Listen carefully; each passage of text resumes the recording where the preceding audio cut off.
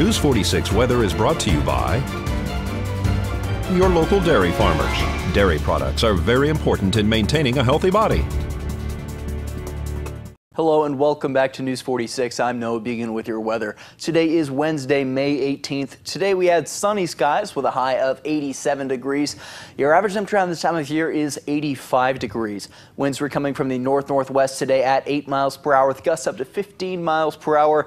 The UV index today was 8, which is very high. Humidity was at 17%. Sunrise was at 534 this morning and the record high in 2009 was 102 degrees. Tonight we'll have clear skies with a low of 63 degrees. Your average temperature on this time of year is 56 degrees. Winds will be coming from the south-southwest this evening at 5 miles per hour with gusts up to 8 miles per hour.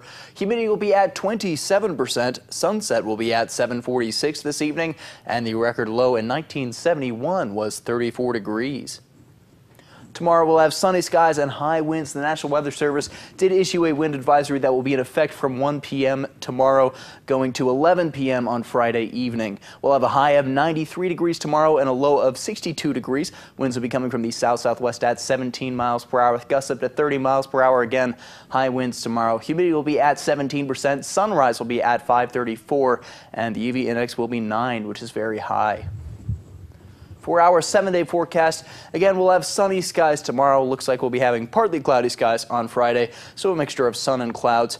And from there, it'll be clearing up for the weekend. Sunday, sunny skies all the way going through next Thursday. And again, that National Weather Service wind advisory will be in effect from 1 p.m. on Thursday going to 11 p.m. Friday evening. So make sure you are extra cautious, especially out on the roadways as those strong winds can create a driving hazard. Your high temperatures will be starting off at 93 degrees tomorrow. That'll work its way down 80 degrees Friday, 74 degrees on Saturday for your weekly low. From there, it'll work its way up into the low 80s next week.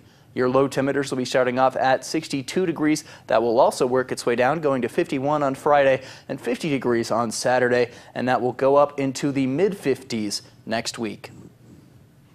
That wraps up Wednesday's edition of News 46. I'm Deanna O'Donnell from all of us here at KPVM TV, KA's Country Radio 95.9. Have a great night. We'll see you back here tomorrow.